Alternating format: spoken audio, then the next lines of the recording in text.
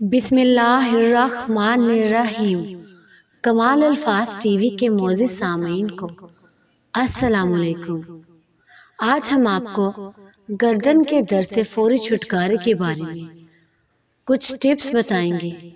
गर्दन के दर्द से फौरी छुटकारा हासिल करने का आसान तरीका।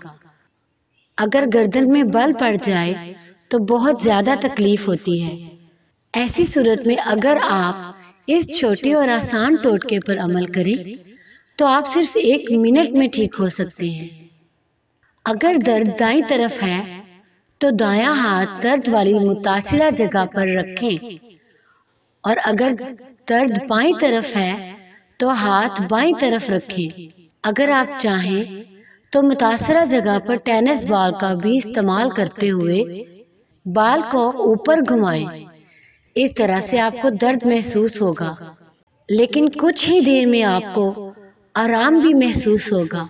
लेकिन अगर आप बॉल का इस्तेमाल नहीं करना चाहते तो आप अपने हाथ से दर्द वाली जगह पर ज़ोर से दबाएँ। ये अमल 20 बार दोहराने से आपको दर्द से मुकम्मल तौर पर आराम मिल जाएगा। और आपकी गर्दन मुकम्मल ठीक हो जाएगी इनशाला हमारे चैनल को ज़रूर सब्सक्राइब कीजिए। शुक्रिया।